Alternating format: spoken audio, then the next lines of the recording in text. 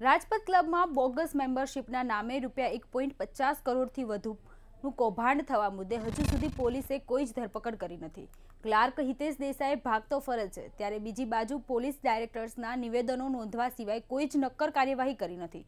Bogus સહીનો આક્ષેપ પણ થઈ રહ્યો છે, ત્યારે હજુ સુધી પોલીસે આ સહીઓ એફએસએલની તપાસ માટે પણ મોકલી નથી. આ અંગે તપાસ અધિકારીનું કહેવું છે કે જ્યાં સુધી ક્લાર્ક હાથ ન લાગે ત્યાં સુધી કોઈનો પણ રોલ સ્પષ્ટ કરવાનું અઘરું છે.